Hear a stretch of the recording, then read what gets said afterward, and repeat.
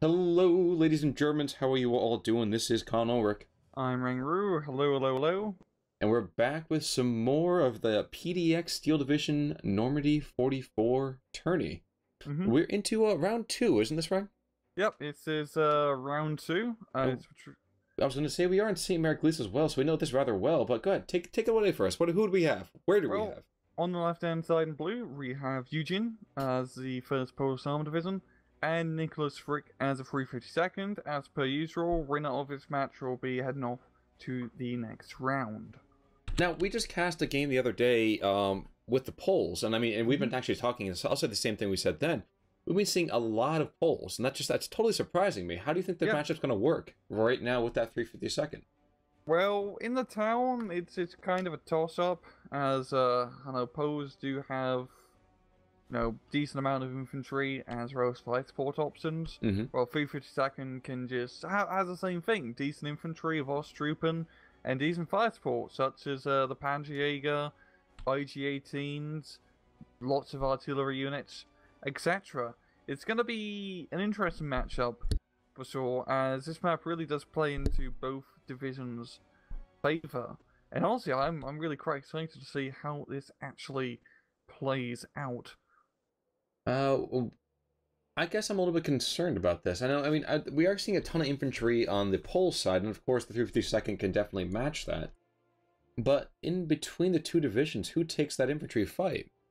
I mean, Um, my my gut immediately, at least anyway, says 352nd as we get started here. But um, Yep. you, you might disagree with me. Go for it. Uh, if 352nd can get down at good old artillery game with the mortars, then he should be able to capture the town. Well, they're only bringing one mortar in right now, but we are seeing the Germans are taking a little bit more of a defensive stance. Is that Mm-hmm. in recognition, you think, of the Poles, or Yes. Also, because you don't really have that much in terms of offensive units in A phase for 352nd. It's all also true? anti-tank guns and you know Panzerschrecks. Nothing really uh, too crazy in terms of like Panzer 3, Panzer 4 rushes. I would say, although ironically, we do have a Shrek team. We do actually also have two pop guns, and we have that Panzer 35. Mm-hmm. But on the Polish side of things, I mean, we do have as well both a Staghound and a Cromwell. And the Staghound, shockingly, well, that takes anything on the map right now for the Germans. Yeah, it's uh, it's a good unit to bring out. It's nice. It's cheap. It can deal with the infantry, and it can deal with the tanks, especially those Panzerjägers and whatnot, if it can get close enough. Um, Stovepipe gets into action for the Germans as that Panzer 35 takes out the Universal Carrier. I mean, first kills, but big whoop, right? Mm-hmm. Yeah, that's uh, bring out the 120 is definitely a good choice as uh, well in terms of its numbers, it brings out the big booms, and as you can see, it's pinning down the Polish infantry very effectively so far. So okay, we are going to look like it looks like the Poles are also trying to work the flanks. How do you feel about that? Do you think that PaK 38 is enough to stop like the Cromwell, for example? Uh, no, no. Uh, No, no, don't. outranging Okay. it. As, True. Uh, is that outranging it right now? Uh, Yes, just is, barely. just barely. Just barely. And, uh, I mean, that Cromwell on the flank, open field, gonna have a good time, really, especially considering there's not much. We do have a Panzerjäger which can stop it, but the Cromwell could somewhat effectively stun up that Panzerjäger too, you also have to realise. But, um, I think the flank's really gonna be the Poe's best option, really, try to move around, yeah, get the tanks rolling, and get into more open fields. Now we were talking uh, again. This goes back to our other cast, and guys, of course, if you haven't checked that out, uh, do. It was a nice little quick game from the Asia Pacific region. But we were talking about how the Poles are very much a momentum-based um, division. How Mhm. does that match up with the 350 seconds kind of uh, step-up offense? Yeah, uh, free two second if they can get like a really good solid defense line down of MGs and pack guns, it can be a real pain in the butt to penetrate. But the Polish uh, trick up their sleeve really is their sextons, as uh, really 352nd can't outrange the sextons or C phase when it comes to artillery, Mm-hmm. and even then SK-18s aren't great at counter battery and armored artillery units. True. While the Sexton can counter battery most of the 352nd stuff, including the mortar in the middle, and also deal with those pesky machine guns, pack guns, etc. Yet they can bring out. Sounds about right. Now we are going to see the Poles are getting forced back by, as you as you have correctly pointed out, the Czechs and the uh, oppressed Russians. Mm-hmm. And I don't know. Exactly, exactly. Will this turn into a meat grinder? Is the question, I suppose. Yeah. Yeah. It's, it's, In a word, yeah. it's always a meat grinder when there's a town involved. Especially when neither side really has decisive shock infantry in A phase. Now we are going to see that decisive kind of infantry attack down to the south, um, slowly starting to build here with the Staghound in support. Is this enough to overwhelm the German defenses? Yeah, for sure. One team, I mean, that's a lot of riflemen, that's just a lot of bodies in general. Mm-hmm. And uh, with the Staghound doing support, he should be able to clear a nice little path for him down south, unless that Panjäger can uh, position itself to deal with that Staghound. And it looks like Uh, some more infantry is coming in as well to support yeah. that. There's some more Osttruppen. Oh yeah, exactly. I mean, we're not going to see. I mean, a lot of necessarily fantastic. But it's still good. Osttruppen are, uh, I mean, it's a solid 20 point unit. Oh, They true. do they do beat out rifles at long range. I I think I think they do, yeah, because the MG34, yeah, even even with the disheartened bonus. Well, and, they and honestly, frankly, they still match up pretty darn well with these Streltsy squads as well. I mean, the, Yeah. the, that that freaking Bren gun just does not do the damage needed to do. No, I mean you, you really need like eight Bren guns to really make him useful. Indeed, and it looks like that Panzer Jaeger is going to get into action as we speak. But is this this defensive line you were talking about a few seconds ago? Is this a good enough defensive line? Uh, down south, uh, Anywhere along the line, actually, because that I mean, we are seeing a huge amount of a furball happening over here in the right on the town square. uh, I think town is gonna hold pretty well just because we got artillery, but really it's just the uh, flanks at the moment. And if you can just knock out the tanks on the flanks or deny them, as you see up north of the smoke play, Mm-hmm. absolutely beautiful. Yeah, and he should be able to hold the flanks until B phase, where he can start getting some PaK 40s and StuGs and other you know, Accoutrements. actual, actual good anti-tank weaponry apart from PaK 38s to uh, really deal with this. That is the wrong problem with 352nd, is you got, you know, the pop gun PaK 38s, and even in the Panjägers, you know, it's a nice little anti-tank unit, it only has 9 AP, which isn't the uh, best in the road, and it doesn't really uh, stack up well once you get to B. True. True, though we do have a little bit of time before we do get over into B. We are going to see a mortar come down south. And I guess that is the A, the A, not the AT, but the arty you were talking about just a few seconds before. Yep. And we also got another mortar uh, north of the town, a bit 81 millimeter. Yes. And uh, if Nicholas can uh, get the artillery game down and just, you know, stun up the infantry, especially down south, that's definitely gonna clear things up. Just as long as there are no Sextons on the field. Now we're just seeing blankets of smoke coming on out. Mm-hmm. Ooh, Panzerschreck is in the area. Staghound might blunder into it. Oh, he is. Uh, so close. So close. That's like, Uh, that's a whisker away, man. That's like a maybe 50 meters. Here comes No, aligning. and tracks broken. I say hashtag. That's still pretty worth. Yep. Reloading. He does go down, but that's oh, no, hey, immobility is fine. That PaK 38 can still penetrate from that range. Yeah, and the Cyclone's kind of low on ammunition now and doesn't have the best line of sight, so that's a, that's a good place to immobilize that uh, British slash American armored car. True. True. We are going to see another one being brought on into the north. This Cromwell. I mean, there's just where the Cromwells are, the Germans cannot be. Mm-hmm. Exact, ex- especially in A phase, it just has that anti, anti, the anti-anti-tank gun dominance. Um, at the same time, though, look at what remains for the Polish infantry in this town. I mean, we have just shreds of squads that are left. Half strength Streltsy. Um, Streltsy with one model left. Oh no, there's there's one squad that's got eight troops in it. Other than that, yeah. nothing. Yeah, too bad he doesn't have any uh, other fire support or artillery to help him try and take his town, because that's really the problem, because these mortars, you know, the Streltsys get pinned down by the Osttruppen in a fight, and then the mortars effectively pin them, pin them down and make them breathless. Oh, Staghound gets forced to get a bailout. Oh, damn. That's a, that's a good good shot here from the Panjäger and PaK 38, and knocking out those tanks and trying to stop the Polish from getting a, uh, you know, tank snowball effect is really a best bet. You know, is now another Cromwell and another Cromwell just on the uh, western side of the town now.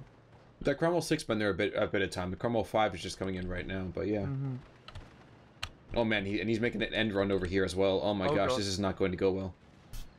Like, I don't know, there's no AT nearby. Oh, sorry, that's exactly what, what I meant by that. Uh, PaK 38 does have a little bit of line of sight on that road, but they have to get awfully close for that to matter. Yeah. Shrek Squad coming on in, some other attendant infantry, of course, with no AT. And I don't Yeah. think that Staghound sees Bricks. No, he sees it. Never mind. Like Grenadier Fuhrer in the patch down to the south. Now be a time for the Grenadier Fuhrer to pop some smoke, but uh, Nicholas is already doing it with his mortars. And yeah, Nick's been on point with the uh, smoke play this match, I have to say. Well, even better too. He it just seems that Eugene is just freaking out. Oh my gosh, smoke! It's time to retreat, and he does so intelligently. There's a Shrek squad just waiting for that smoke to disappear. So brilliant Mhm. there. And especially considering that, you know, if you can't outrange the enemy, you might as well just block their line of sight so they can't outrange you to begin with. True, true. Even even more proper. Yeah. Scouts getting into a wet noodle contest with the Grenadier Fuhrer. Yep. I was actually watching that and amazing didn't unload his Ostroop a little bit sooner as he took some shots. I don't think he saw him, unfortunately. I think he. I think the uh, scouts were able to get out of line of sight on that. Yeah. So the Streltsy right now should be shifting on in. I think literally into that smoke. But uh, they're gonna keep their distance for the moment. But uh, the main thing is Polish are getting that slow and lovely plus one point advantage with a 54% riches. A rather big deal. I do like up north once again with the smoke blocking that Cromwell's line of sight, really negating its effective use. And uh, the Poles are slowly starting to break through in the town a little bit, yo. Panda 35 may be able to stop it, of all things. I don't know about that. We are gonna see your favorite vehicle in the world coming out for the Poles. Sexton? Yes, sir. Oh, just boy. coming to the west side of the town right now, and like you said, there is not much the Germans are going to be able to do to counter battery this. No, no. I mean, it's getting a little bit too close for my liking. Uh, I don't, I don't know how he brought it that close, especially Well- considering. I under. Go ahead, sorry. No, no, no. Please, I was gonna, I was just gonna just Yeah. be cantankerous and objection, but go for it. But I I understand, you know, you just want to have it close to the front line, but in this shorter setup, where you can easily outrange him by just having that section another 400, 600 meters back, you know, you might as well just have it back here, so you you can counter battery EM and they can't counter battery you. True, but I was thinking to myself at the same time as we see more and more Osttrooping being poured on in.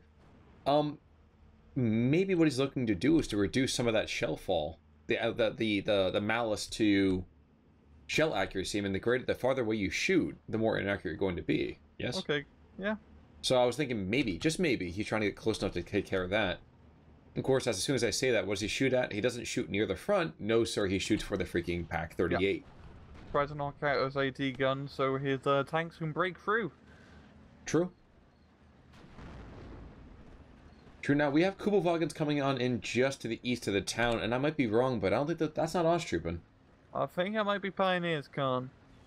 That might be accurate. And that And- and- might be a good idea. Exactly.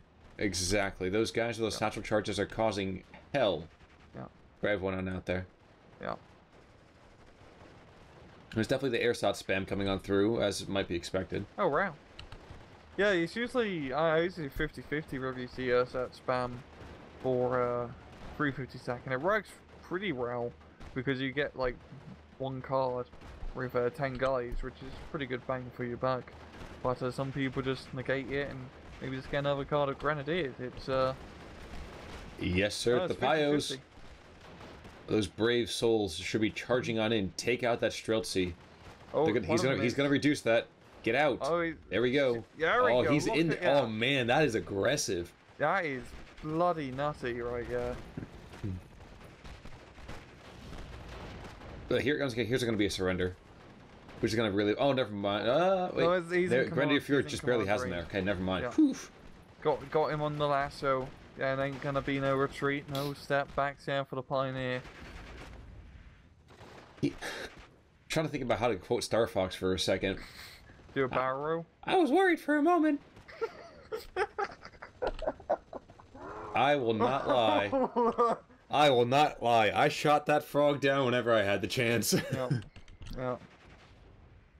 I don't care if you made my stuff better. I shot that guy down. Yeah. Uh, we I, are I, going I to always see found that game hard when I was a kid. Junker coming on in. Oh man, this guy's gonna have a beautiful shot Actually over going here. Sexton? Yes, he is. He's got the gun Oh. run. He's aligning. Tracks broken. Ammo explosion. That's a There big go, loss. That's how you knock out the Sexton there. Well, even that if the was- Joker goes down now because the hurricane, and he will probably go down. I don't know. I don't know. The AA unit is nearby. Oh my gosh! I didn't, I, I didn't even. See, I wasn't even looking at the the, the flak thing. Yeah. Yeah, he's, he's Hmm. That is a- definitely gonna get out. That's a big pick. Uh, falling back, falling back. He goes down. Oh, that was so close. I think he just. I think that flag rolling just lost line of sight due to a building, maybe for a brief second. But uh, it's definitely still cost efficient. I think just knocking out that Sexton is. Well, even if it's not cost efficient, that's just a beautiful opportunity. Of course, we are going to see howitzers being brought onto the field now. Bedford truck just coming in Yeah. that center south portion. Yeah. And actually, it's a nice- 25 pounder to the north. I'm sorry, go for it. But the nice thing about 25 pounders is you can actually counter battery um somewhat True. if you get in range. Now, I'm a little surprised to see that from the German side, we aren't going to see that artillery that you were talking about before. Yeah, no, uh, no Nebelwerfers was a little bit sad because, uh, you know, Nebelwerfers town. I mean, it's like bread and butter. True. True. Flakvierling blows up spectacularly, and I. Even though we don't get a nice little close shot of that, it this game again, we've been talking about this on cast, off cast. It's just it's so beautiful. Yeah, and that Cromwell is in a lovely position because he's pretty much denying reinforcements into the town. Somewhat, he only has limited line of sight on the road, but once you kind of get past the flanks here, Khan, and you can control that road, you control the town. True. Yeah. Um, I am surprised to see that this 120 mil has exactly two smoke rounds left, which is just uh, inspiring to a certain mean. Uh, Yeah. I mean, how often do you see artillery units use up all their smoke munitions? Well, smoke and HE for that matter. I know. He's been a busy boy at 120 millimeter. he has indeed. Uh, but Polish rush is coming towards that town. I, I don't think Fricke has the lines to stop him at the moment. Oh god, that is.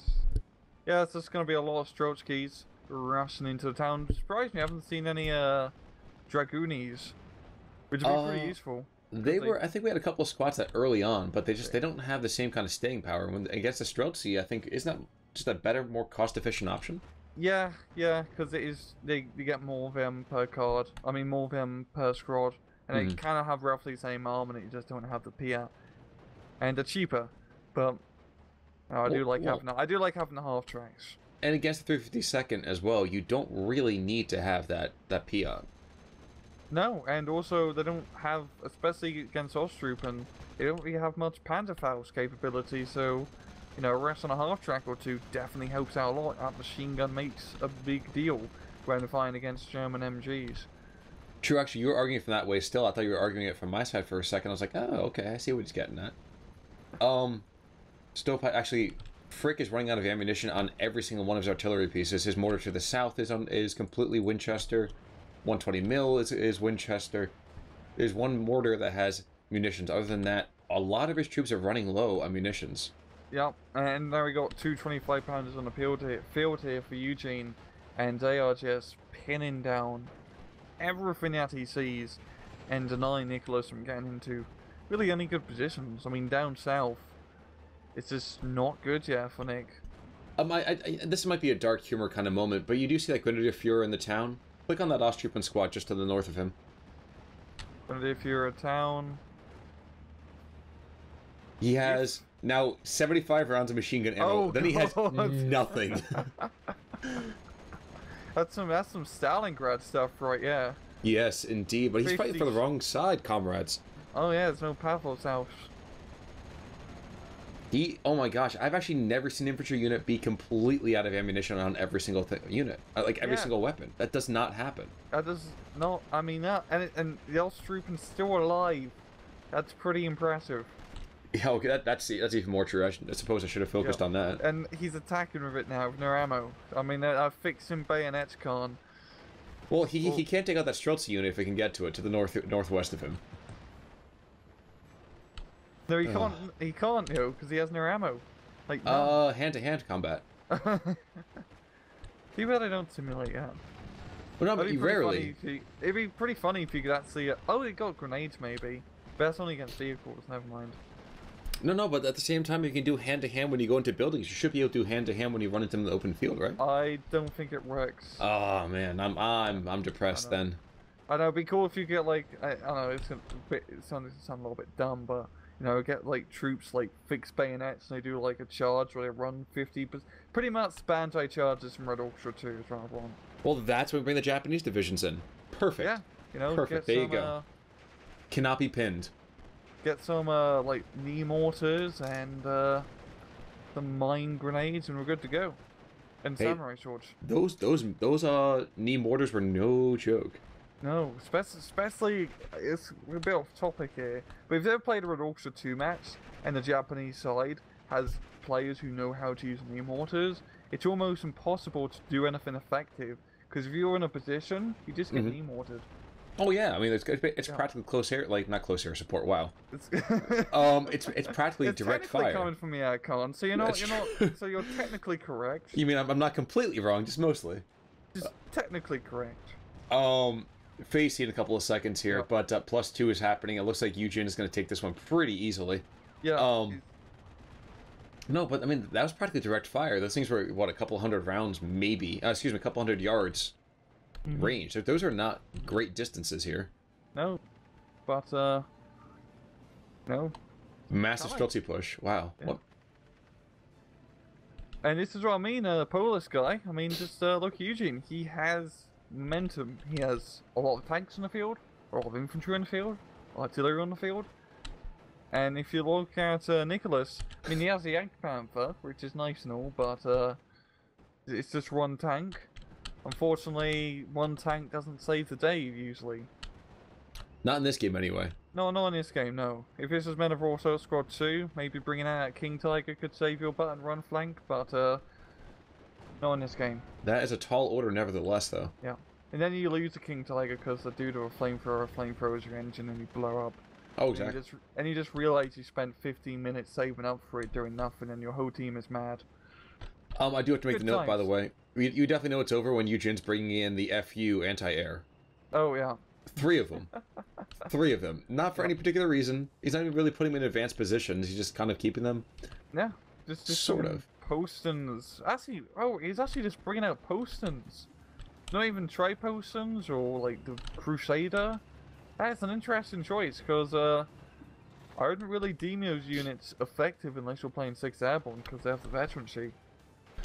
But look at, I mean, look at this right now. Um, we were talking about the the infantry matchup between the Streltsy and the Osttruppen, and we, we Mhm. I don't want to say we had a definitive answer from this, but at the same time, I kind of I can't help but wonder if the infantry had been present in equal numbers, would that have been a more even match? I think Nicholas has needed to use more CQC guys because he could have got some stormtroopers, and if he had his pioneers and maybe some better positions and more of them in the town, he could have got some good uh, grenades off. True. But I think he just relied only on Osttroopers really in that town, and it can last you for a decent amount, but when you're out of ammo and outnumbered, yeah, and yeah, you're gonna lose. And they will run out of ammo. Yeah. And now just looking at it's a Sherman Mark V coming around the south flank of the town, gonna be able to pretty much cut off reinforcements. There goes one squad. And uh yeah, we go. Yep. The last couple of seconds here, so congratulations to Eugen and Nicholas. You've had you've played a, a pretty good tournament so far. I won't lie, but um, wow, Round. Polish Brigade, well done. Yeah, there uh There's the tap out. there's a tap out and uh Eugene is taking the victory by yeah like a nine hundred kill death advantage. Yeah, and gu- this goes back to the oh, the other game too as well. I don't know if maybe I'm just having observational bias or blindness, but it never seems like the Germans are really taking that much of that much damage. I guess. In terms of uh early on, Well, I mean, more or less later. I mean, early on, yeah, go in the first eight minutes or so, it's about Yeah. a two to one kill in favor of the Poles. mm-hmm. But then later on, we don't really see a bunch of German deaths until about minute 15, and then another span from 18 to about 19. I just think, I just think, uh, like Nicholas, he he. It's a simple matter of momentum. The momentum on the flanks was really dominated by Eugene by having the tanks here Mhm. and really stopping Nick from doing any advances. And in the town, it just became that awful bloody meat grinder, and pretty much Eugene managed to out meat grind Nick. Well, I, I can't help but wonder if maybe Nicholas didn't apply enough units to the flanks early on. Yeah, at the same time, you know, when it comes to momentum on the flanks, he doesn't have like that much in terms of aggressive units, and especially against Pose, where he could, you know, rip out Cromwells, support Cromwells, Staghounds, recon Stuarts, Stuarts. Mhm. It's really, it's really quite tough to uh, be aggressive on those flanks. Maybe down south where it's more forestry, Mhm. and try to maybe do some infantry anti-tank gun play to try and capture it. But uh, in the northern flank, I'm just thinking it wouldn't have gone well if he tried to attack here. Really defending it was his best bet. That's fair. That's fair. Yeah. Well, Yeah. Eugene now moves on to uh, round number three. Mm-hmm. Nicholas unfortunately goes home, and we're getting closer and closer to crowning ourselves a uh, a PDX tournament champion, aren't we? Yep. Another what? Another two rounds, I think, before we get to the semis. I'm, I'm not entirely sure where we are overall in think- the bracket. Uh, I think this is uh, yeah, like another round or two, and then we're into the semi-finals. And I think this tournament will probably be done sometime early January in terms I'd- of uh, time frame. Definitely looking forward to the climax of it all. But all right, uh, I think it's gonna do it for me. How about you there, Rang? Yeah, I'm good. Sounds good, folks. You all take it easy. Have yourselves a great day. This is Khan Ulric. I'm Rangru. Take it easy.